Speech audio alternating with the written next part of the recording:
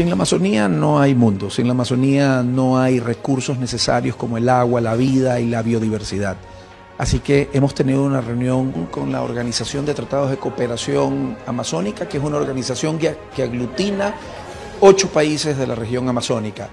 Hemos establecido prioridades, hemos establecido una agenda muy pragmática para mejorar la gobernanza, movilización de recursos, trabajar en los recursos hídricos, entender los planes de vida de las comunidades y hemos llegado al acuerdo de hacer la cumbre de presidentes amazónicos eh, dentro del 2023. Estamos trabajando en ver la valoración de todo este recurso ecosistémico, así que salimos muy motivados con una agenda pragmática para la movilización de recursos, para preservar este inmenso patrimonio de la humanidad.